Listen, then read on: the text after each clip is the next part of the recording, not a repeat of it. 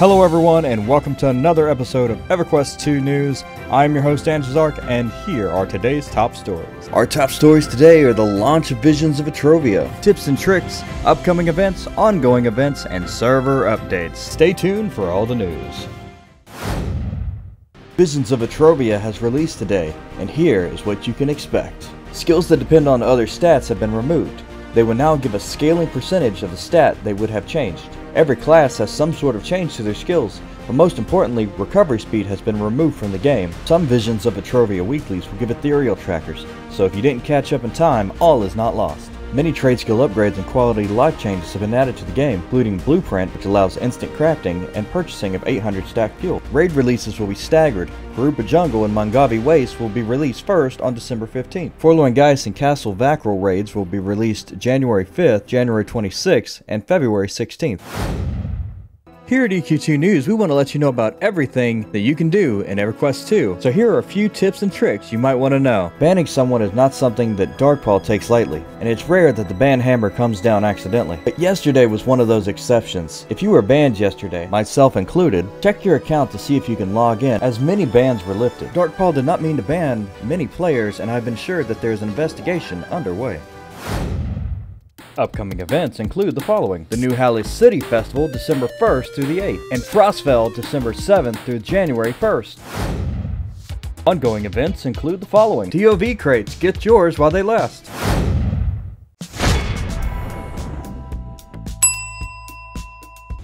Software cursors are now customizable. If you have the software cursor enabled, you can now choose a color tint for the cursor. You will now get a notification on your minimap that will tell you when you have claimable items. You can earn your extra prestige points in VOV now, but if you are already maxed out, you will not get any more. Stat reforging has been removed from the game, but you can still reforge appearances. Infusing has been removed from the game, and almost all infusers will turn into temp adornments. Mercenaries have had many quality of life improvements, including a surge, battalion buff stats displayed in the mercenary window, and better AI with Mercenary Resing. All Dwarven Battle Rangers have been consolidated to have the same buff, and they also drop from the 5 hour crate in Svarni Expanse. There have been upgrades to personal and guild depots, increased the size of the depots, and craftable spell and house item depots that you can have in your house. House actors can now be set to the Vashir race if you own the required expansion, and there is a known bug with VOV house items that will be fixed in a later patch. Details are listed above.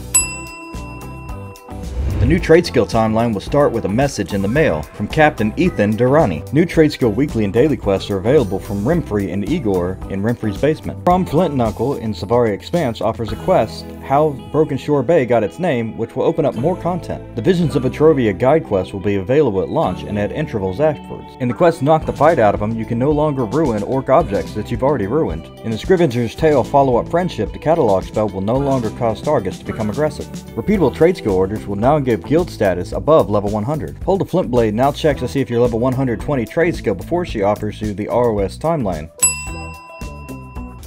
All adornments are now no value, and they cannot be sold to vendors. Damage conversion items will now affect all damage done, including auto attack damage, ammo type damage, and pet damage. Energy inverters are now tradable and cannot be resisted, so let's get some on the broker. A new flag for requires equip has been added. Some items and all adornments are now requires equip. Adornments can no longer be applied in combat. This will make swapping immunity adornments impossible during a fight. Kite shields have now been named Kite Shield with a space. Impos will sell heirloom items to adventurers who achieve certain triumphs. Starting with Visions of Vetrovia, familiar stats will increase differently.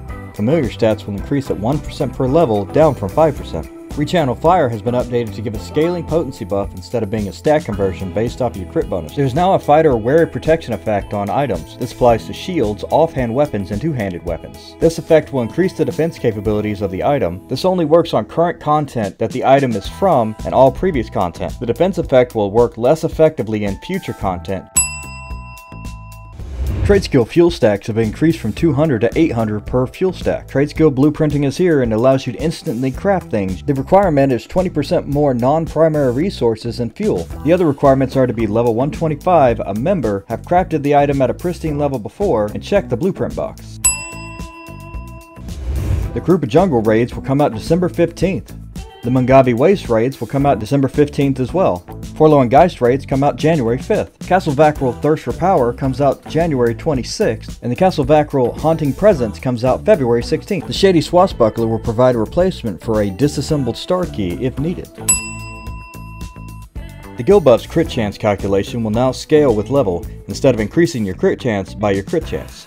Final Judgment will no longer critically apply or be modified by the caster's stats. Recovery speed has been removed from the game, and casting speed and reuse speed will replace instances of the stat. Enhanced Vigor will now scale by level and is not based off other stats. Enhanced Vigor also applies to pet at a lower rate. An issue has been fixed that prevented effects that limit max damage from decrementing. Balanced Synergy now provides a scaling benefit, and an issue was fixed that made it last longer than it should have. Damage reduction effects that cap max damage should now display correctly. Several stat conversion effects have been updated to grant scaling benefits. The base value of abilities over 121 have been set to 35. Updated accuracy from strength, power from the soul, and vitality to strength to base its benefit on being in combat. Effects that state they modify profession abilities, spells, or combat arts will no longer apply to item granted effect. Updated weapon of the mind to give a scaling weapon damage buff instead of a stat conversion from weapon damage to potency. Updated modified strength to give a scaling ability modifier buff instead of a stat conversion from primary attribute to ability modifier.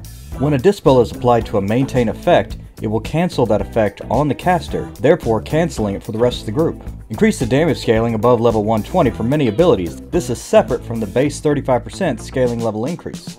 Summoner pet classes will now apply casting animations. Glacial Freeze will no longer reduce the level of the target, and encounters that depended on this mechanic have now been adjusted. For Dirge, Battlecry has been updated to give a scaling potency buff instead of a stat conversion. For the Defiler and Shaman, Ancient Pedigree and Spirit Companion will now apply to the pets. Virulence now performs its use passively. Fixed the bug with Spiritual Ally that kept it from applying to the pet correctly.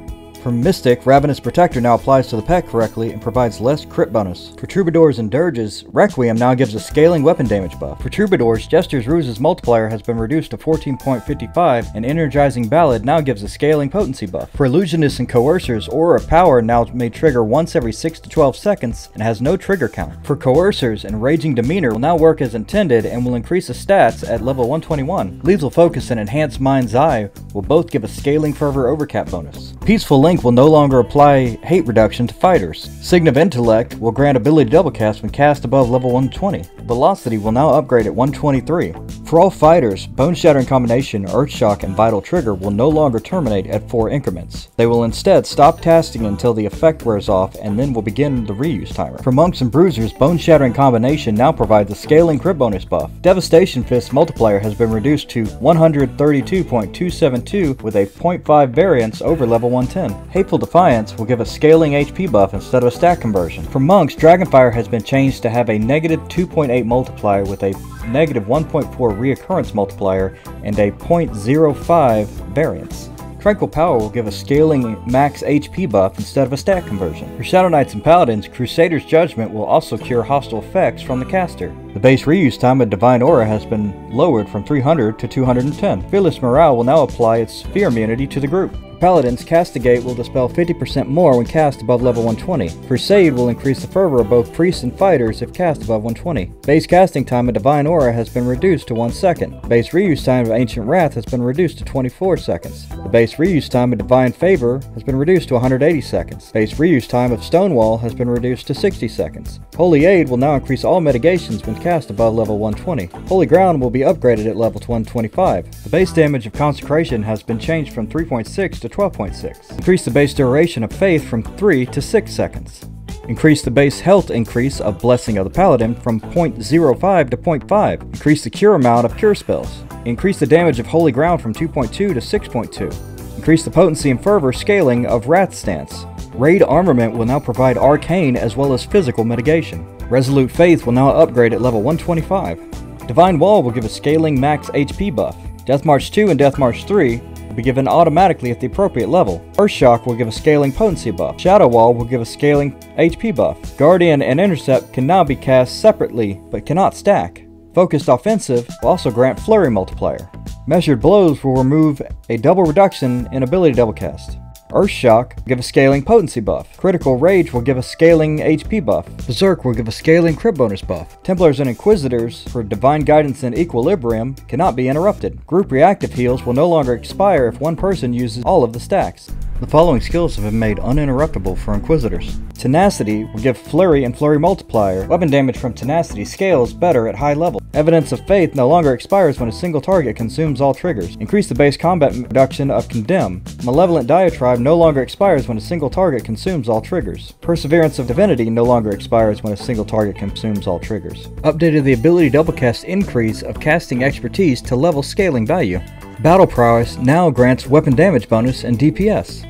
Many of the Templar skills have been made uninterruptible. They're listed above. Egoism will give the weapon damage increase. Beneficence no longer expires if a single target consumes all triggers. Decrease the base reuse time of Sanctuary to 140 seconds. Holy Intercession will no longer expire when a single target consumes all triggers. Increase the base combat mitigation reduction of Awestruck.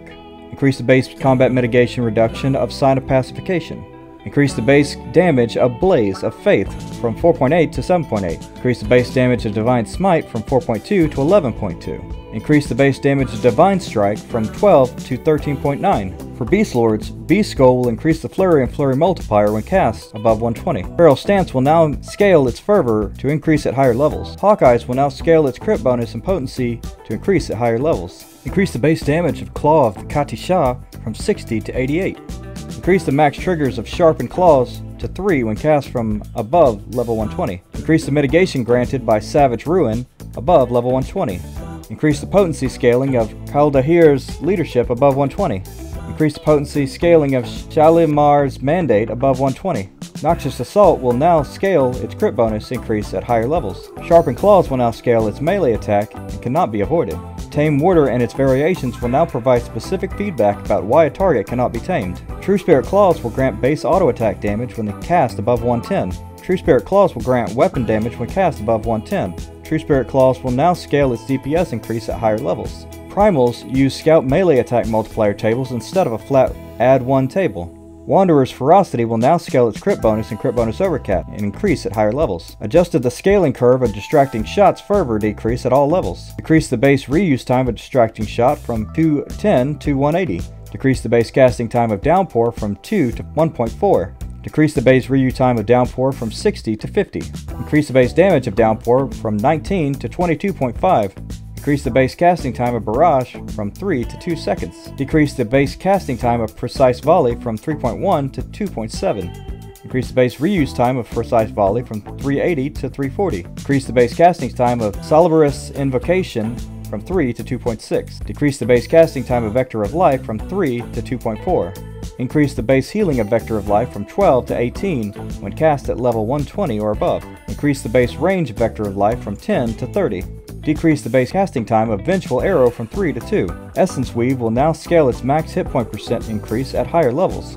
Hawkeye will now reduce the base casting times of Barrage and Vengeful Arrow in 1.6 seconds. Increase the base damage of Construct Sacrifice from 10.89 to 14.31. Increase the base damage of Healing Arrow from 1.2 to 2.4 Increase the base duration of Sanctuary of Darkness from 5.5 to 15. Increase the base healing of True Spirit Restoration 8 to 25. Increase the base ward of Siphon Protection from 120 to 160. Increase the maximum stone skin triggers of Tesla's Shell to 20 when cast above level 120. Increase the range of Salubrious Invocation 20 to 30. Sanctuary of Darkness will now dispel hostile root, stifle, stun, fear, daze, and mesmerize effect when cast. Swift Aid will now scale its max hit point percent increase. Accomplice will grant scaling fervor instead of potency above 120. Added the ability to perforate at 120 that will upgrade perforate at 125. Added the ability Vital Strike at 120 will upgrade at 125. Amazing Reflexes will grant scaling strike through when above 120. Amazing Reflexes will upgrade at level 125. Deceit will grant Flurry Multiplier when cast above 120. Deceit will upgrade at 125. Desperate Thrust will decrease combat mitigation on targets. Entangle will now decrease combat mitigation on target encounter instead of individual targets. Partners in Crime will grant Scaling Fervor instead of Potency if cast above 120. Shenanigans no longer reduces the defense and parry skills when cast. Thieves Guild will upgrade at level 125. Advanced Warning will increase ability double cast when cast above 120. Bravado will increase weapon damage bonus and weapon damage bonus overcap when cast above level 120. Cocky Maneuver will increase duration based off the spell tier. Daring Advance will now scale its fervor increase at higher levels. Dazzle will grant combat mitigation reduction. Double Cross will increase combat mitigation reduction Increase the curve of stamina bonus granted by Blade Weaver. Increased everything granted by Cocky Maneuver. Marauder's Vaunt will also increase the fervor overcap of raid members when cast above 120. Ruthless Cunning will grant base auto attack increase when cast above 120. Smuggle will now grant its crit bonus increase to the group. Swarthy Deception will increase base auto attack damage the, of the target and caster when the cast above 120. Swarthy Deception will increase flurry multiplier of the target and the caster when cast above 120. Swarthy Deception will increase the flurry of the target and caster when cast above 120 as well. And Swarthy Expertise will increase the ability double cast granted by the Cocky Maneuver. For Troubadours and Dirges, the Spell Reflection effect has been removed from Wayfarer's Watch. For Mystics and Defilers, the Spell Reflection effect has been removed from immunities. Phew, that was a lot. Thank you for watching. Please remember to like, subscribe, or follow if you enjoy the content. Also, here's some other videos you might find interesting. If you'd like to support my work, please consider donating, buying some merchandise, or join Patreon. Thanks.